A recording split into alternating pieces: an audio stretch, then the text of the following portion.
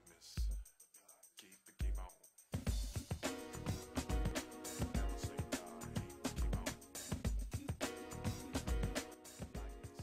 And I want to present this next award to Bishop William Cahoon. Thank you, sir, for your leadership, your legacy. You're a dedicated father, pastor, advocate for our communities. You have been there for us. You have been there for the Church of God in Christ, presiding prelate over the state of New Jersey. You have contributed not just to your state, not just to your denomination, but you've created places for care, particularly for our senior citizens, that they may have care, they may have Christ, and they may have comfort in their later years.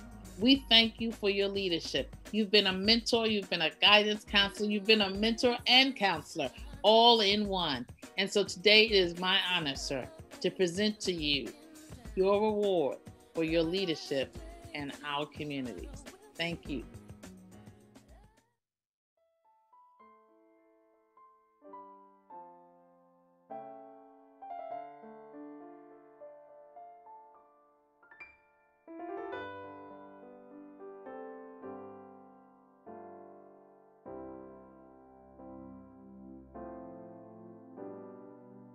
And my brothers and sisters, grace be unto you and peace from God our Father and from the Lord Jesus Christ. Mr. Adrian Council Sr., Miss Jean Nash Wells, and the Positive Community family. Thank you for choosing me to be a part of this virtual celebration. I consider it a great honor to receive this prestigious award from the Positive Community family. I will cherish this award not because I received it, but who I received it from.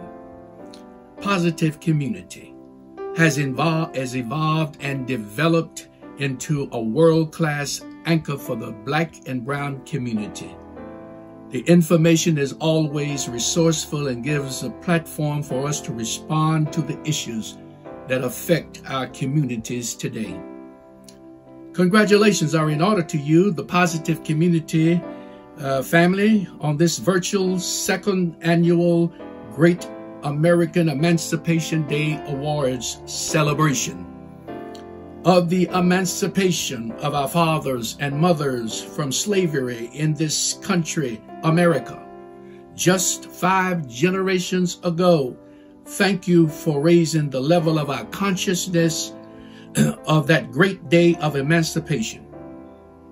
The Church of God in Christ has made significant contributions to the ongoing accomplishments of our people over these five generations since the emancipation with the emphasis on our young people, our children. The church is totally committed to fostering relevant initiatives that will help to prepare young people for local and global challenges. This celebration is appropriate today, so we step into 2021 with a resolve for greater access to better health care, social justice, economic reforms for all of God's people. We look forward to making sure that our young people will have a seat at the table of opportunity to help shape their future. We must continue to teach them inclusion and not exclusion of all God's people. To help to restore, refresh, and revitalize our circumstances and support for our marginalized people.